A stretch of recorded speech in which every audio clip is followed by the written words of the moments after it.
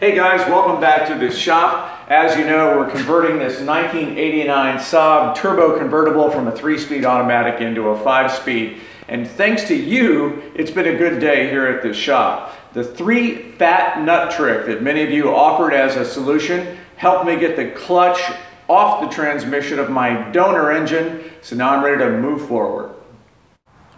Here is the engine and transmission assembly from my donor car, a 92 Saab non-turbo.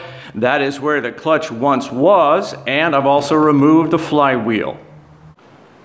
When I bought my Saab, the speedometer was broken, so I don't really know how many miles are on the car. I'm guessing around 160,000.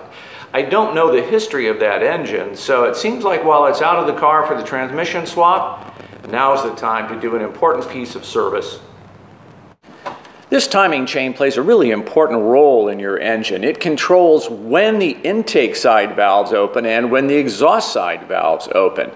These chains stretch over time and sometimes you can hear them slapping and making noise. It's important to change them before they break because if they do, the valves can actually collide with pistons and you are talking about one expensive rebuild. So I think we're at the point in the project where the next step is to lift the engine off the transmission. Now supposedly it should happen pretty easily now that I have everything unbolted, but I guess we'll find out. And we'll show you what happens next time around. Keep all your suggestions coming. They're really helpful and I appreciate them. We'll see you next time.